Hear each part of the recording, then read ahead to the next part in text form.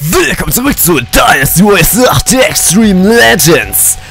Es geht weiter mit der Invasion von Runan. Das war die Schlacht, wo Yuan Shu Sun Tzu befohlen hat, Cao Cao anzugreifen. Sie haben gemeinsame Sache gemacht. Yuan Shu stand da nur im Hauptlager, hat nichts gemacht, seinen gesamten Trümmer waren eigentlich total nutzlos. Sun Tzu hat in der fiktionalen Schlacht alleine praktisch den Sieg errungen, obwohl Yuan Shu den Ruhm eingesammelt hat. Aber jetzt spielen wir Cao, vernichten hoffentlich auch mal Yuan Shu. Er hat's verdient. Wenn er nichts macht, ist er schon richtig Duang Shua-like. Nur eine Burg hocken und andere die Drecksarbeit erledigen lassen. Gut, mit Cao drum. Schon wieder das dritte Mal hintereinander. Das gibt's doch nicht. Im letzten Part haben wir Zhang He gespielt, ja. Wer es nicht gesehen hat, unbedingt nochmal anschauen. War richtig witzig. Ich muss echt sagen, wir haben jetzt fast jeden Offizier gehabt. Könnten wir mit Yu Yin spielen. Könnten nochmal mit Gu Jia spielen. Da haben wir, glaube ich, auch nur einmal mit Sai Wenji. Könnte ich auch mal nehmen. Ja, komm, wir nehmen mal Sai Wenji. Spiele ich auch nicht so oft. Aber freut mich, wenn wir die auch mal nehmen. Ja, wie sieht's denn aus hier? Mhm, mhm. Besiegte Feinde lassen geflügelte Stiefel fallen. Ernsthaft? Ihre Abwehr wird erheblich verstärkt, aber Angriff wird geschwächt. Erhöht die Angriffsgeschwindigkeit, ist bei ihr natürlich sehr geil. Okay. Kann man ruhig mit zwei verschiedenen, äh, mit zwei verschiedenen Affinitäten spielen. Ja, war schon richtig. Erde. Immer Himmel und Erde ist beste Kombination. Ja, die hat einfach ein Schwert. Warum? Weil Baum. Keine Ahnung. Savenji kenne ich nur mit Hafe. Oh, hier muss man auf jeden Fall Tsai Yong nehmen. Und Cao Cao am besten noch.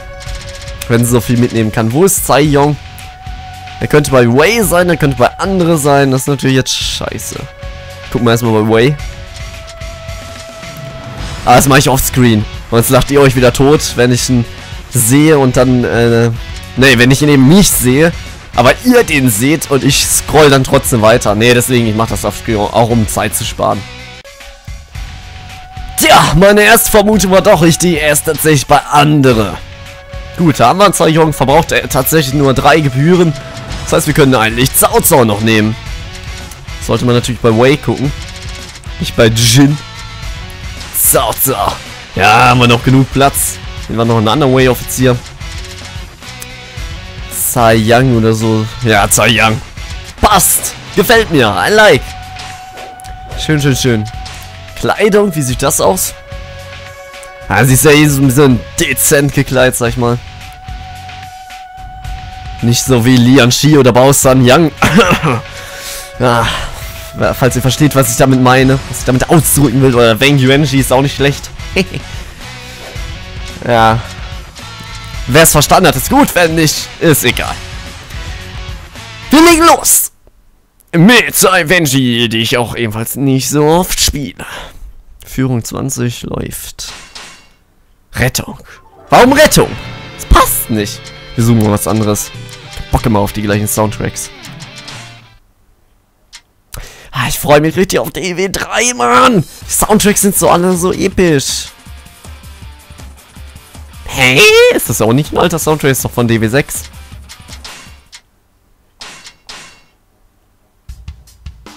Sind ja alte Soundtracks dabei? Wie geil ist das denn? Das wusste ich gar nicht. Ich das eigentlich nie mache.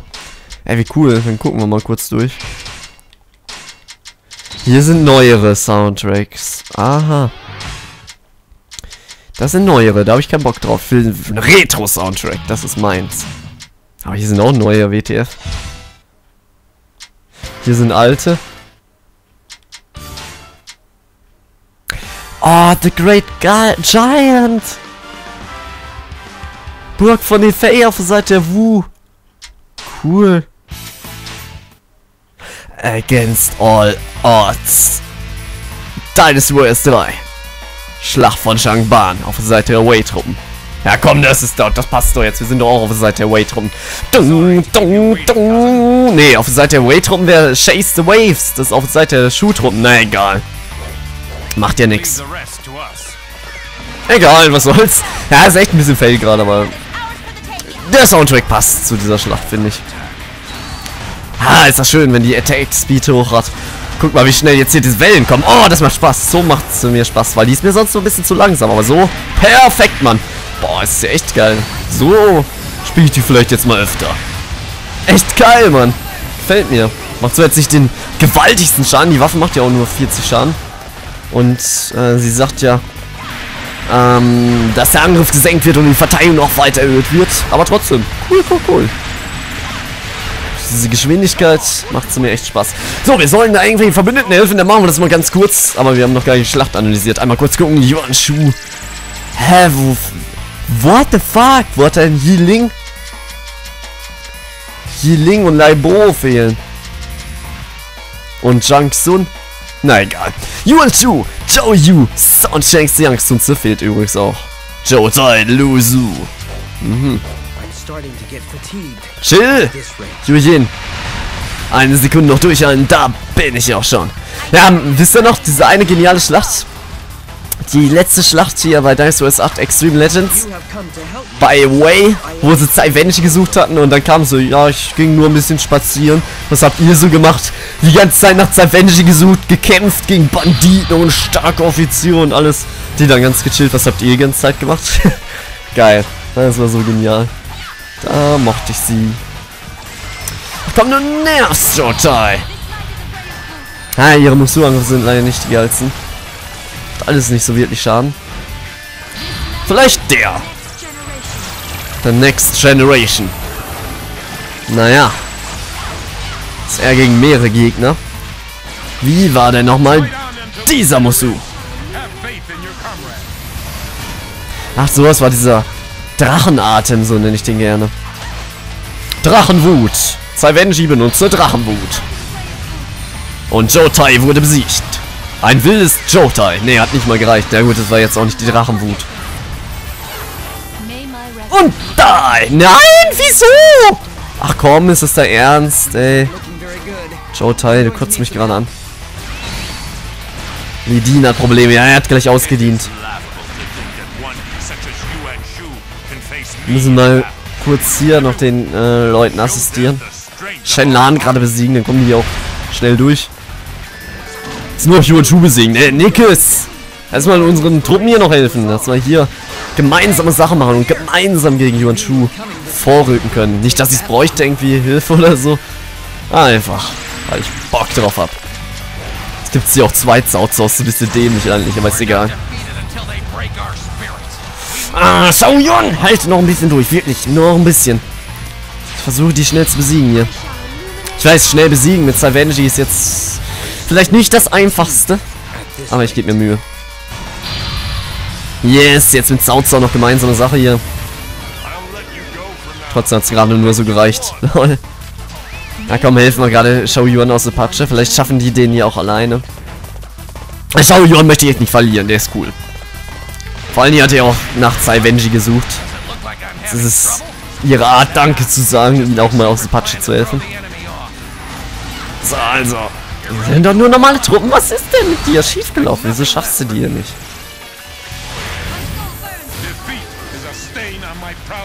Toll. Sauren wurde besiegt. Natürlich! Auch gegen normale Truppen. Hier ist das wieder für eine Pissschlacht. Dass man so sagen darf. Wenn die Verbündeten nichts leisten, dann raste ich immer aus. Wie geht überhaupt der zweite Ex-Angriff bei ihr? Oh, es sieht kompliziert aus. 1, 2, 3, 4. Okay, das ist... Ach so, das ist der. Den habe ich jetzt schon die ganze Zeit gemacht. Das ist übrigens auch der neue Ex-Angriff von ihr. Ist gar nicht so schlecht. Aber wieso haben die denn jetzt alle Probleme? Wegen den scheiß Arles? Dann mach ich die gerade kaputt.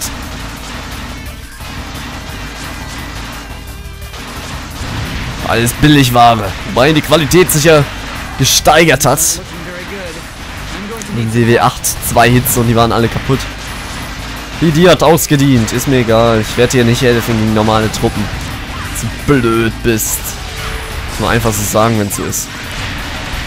So, ich werde direkt hier durch die Mitte pressen. Dann auf Yuan Shu vorrücken. Natürlich, eine Falle von Lusu. In Außen rumgehen müssen. Aber ich wollte euch das natürlich zeigen. Ich wusste das. Nicht, dass jetzt einer denkt, ja, ja, du wusstest das eh nicht. Ne, ich wusste das wirklich. Das Unzunste ist auch da. Das wusste ich nicht mehr, wann der kam. Aber dass hier Hinterhalt kam, ist erstens offensichtlich gewesen. Zweitens wusste ich es noch. Ach, Lusu, was mache ich nur mit dir? Ich wechsle jetzt erstmal die Waffe und dann bist du am Arsch. Und die. Das war's. Er ist besiegt. Jetzt ist eigentlich die Moral wieder auf unserer Seite, aber trotzdem sacken die Verbündeten. Warum auch immer. Oder ist er jetzt uns... Äh ah, das erklärt natürlich einiges. okay, aber der ist jetzt erst hingekommen. Eben war er da noch nicht. Deswegen kann ich mir das nicht erklären, warum die da eben schon so gesagt hatten. Gut, helfen wir denen mal gerade. Sauhong. Cousin von Cao. Oder Bruder, je nachdem. Manche schreiben mir immer, es ist nicht der Cousin. Nee, es ist, nee, es ist andersrum. Es ist nicht der Bruder, es ist der Cousin. Ah, ich habe heute auch Quellen, die sagen, es ist der Bruder gewesen. Deswegen, was er dann letzten Endes war, wird wohl nie belegt werden können. Es liegt auch daran, weil, naja, ich studiere Geschichte gerade ein Seminar Archaisches Griechenland. Das ist ja eine Zeit, wo wirklich gar nicht so viele Quellen drüber verfügbar sind. Und jetzt guckt man mal nach China. Ist ja ungefähr die gleiche Zeit. Aufstand der gelben Turban irgendwie so im Raume 100 bis 200 nach Christus. Und ja, archaisches Griechenland von 800 bis 500 vor Christus, aber trotzdem, sind wirklich alles solche Zeiträume, die wirklich ziemlich, ziemlich, ziemlich, ziemlich, ziemlich, ziemlich lange her sind. Das heißt, früher wurde noch nicht so viel mitgeschrieben. Der erste wirkliche Historiker war ja auch Thukydides. Und der lebte auch erst so im Jahre 500.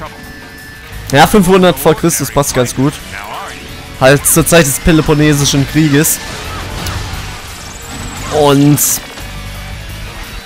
ja, und der war eigentlich erst der Erste, der so wirklich notiert hat. Herodot natürlich auch. Aber wie es in China war, das weiß ich nicht. Da gibt es nicht solche verrückten Griechen, die alles notieren.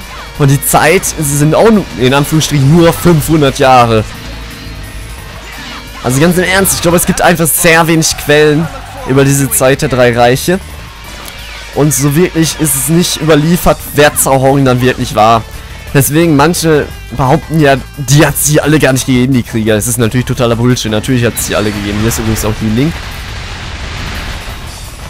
Ja, und manche äh, argumentieren dann auch, ja, zum Beispiel in der Enzyklopädie, das steht ja bei manchen Charakteren, ähm, Geburtsdatum unbekannt und so. Ja klar, Freunde, weil es da keine Quellen mehr zu gibt. So ist es einfach.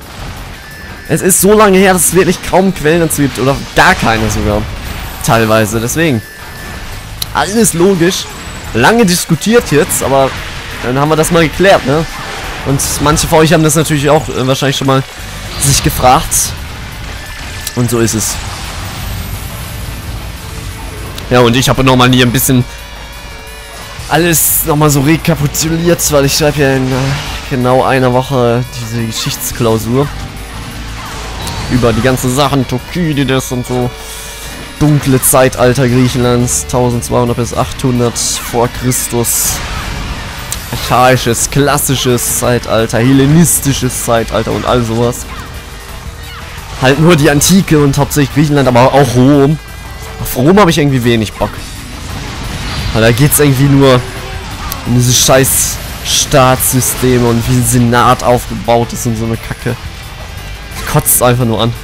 Also so diese politischen Sachen mag ich nie bei Geschichte. Mich interessieren eher so die Schlachten, die Armeen und naja, nicht so die Staatssachen, sag ich mal. Alles andere auch. Gesetze ist vielleicht auch noch ganz interessant, aber so diese ganze Kacke, Politik, wie jetzt eine Volksversammlung auszusehen hat und so, das kotzt einfach nur an. Das langweilt. Wir haben wir über Geschichte geredet. Ja. Und gucken, wie das so wird. Aber jetzt wird erstmal DW weitergezockt. Ich will jetzt hier nicht, Let's Plays missbrauchen, um Geschichte zu lernen, aber es war eben trotzdem angebracht. Das mal klarzustellen. Weil diese Zauhong-Diskussion in den Kommentaren habe ich nicht langsam leid. Schon so oft gehabt. Hm, es ist, der, es ist nicht der Bruder, es ist der Cousin. Man weiß es nicht. Man weiß es nicht. Manche Quellen sagen, es ist der Bruder, manche der Cousin. Die sind sich doch alle selber nicht einig. Wahrscheinlich gibt es einen Historiker, der gesagt hat, nö, ist Cousin. Eine andere, nee, Bruder. Ja, und dann haben sich halt zwei Lager aufgespalten, sag ich mal. Die eine ist der Bruder, und der andere der Cousin. Und ich sag auch, das ist der Bruder, meine Fresse. VZ hat genug Cousins. Schau du, schau Yuan. Und Zau äh, Zauren.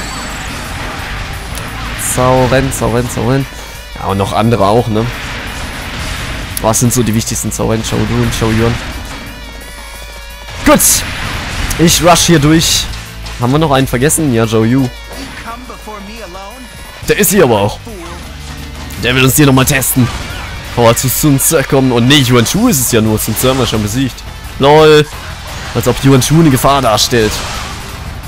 Überhaupt nicht, Mann.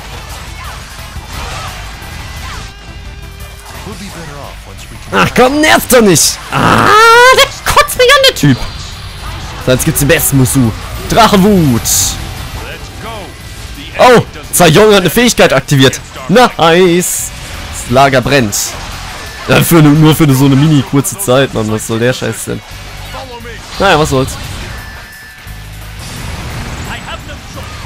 Oh, hat er noch einen Schlag gemacht. Das wusste ich gar nicht, dass er noch einen hintersetzt.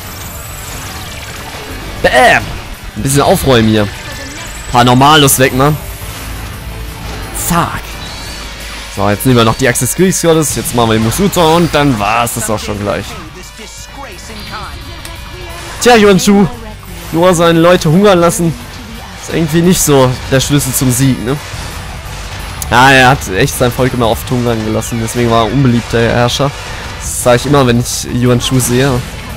Das hat er jetzt echt ernsthaft alles abgewehrt? Dein Ernst, Yuan-Chu? Dafür musst du jetzt sterben, weil du so gut warst. Ach komm, das ist echt Betrug gerade. Ach komm jetzt! Oh, ich wollte schon gerade richtig ausrasten. Das ist nur Yuan Shu, Mann.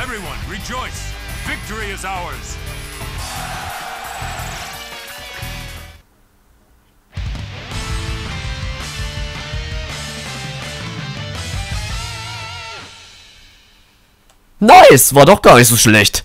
Schlacht hat mir gefallen. Ich habe eigentlich mit was Schlechterem gerechnet.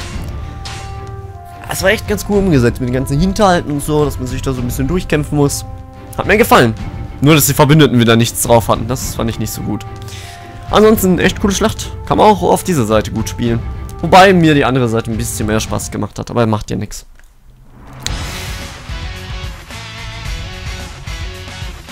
What? Nickes. Komm nie in Aldi-Tüte. Wurde gar nicht erreicht hier die maximale Energiemenge, wie ihr sehen könnt. Lädt auf, steht da noch. Ja, ähm, jetzt bin ich aus dem Konzept. Danke, PS3-Controller. Mm, genau, in die nächste Schlacht. In den nächsten Part werden wir den Angriff... Dien, ne? Den Lidin-Angriff. Ne, Quatsch. Ähm, den Angriff auf die Provinz Xu machen. Mit Libeistrum. Endlich mal nicht mehr Zau Zau. Ich habe ja nichts gegen Zau Zau Strom, aber dreimal Zau Zau hintereinander. Ich weiß ja nicht, ob das, das so das Gelbe vom Ei ist. Also ein bisschen Abwechslung. Nächstes Part mal wieder mit Libeis-Truppen kämpfen. Meint ja schon einer in den Kommentaren, ja, du hast sowieso noch nicht so viele ähm, Offiziere von Liu Bei genommen. Dann haben wir wieder einen mehr. Also, läuft doch. Gut, Freunde, würde ich sagen, bis zum nächsten Mal. Daumen hoch, falls es euch gefallen hat. Falls nicht, wir uns wieder improvisieren. Ansonsten sehen wir uns wieder beim nächsten Mal bei den Angriff auf die Provinz Xu. Also bis dann und ciao und haut rein.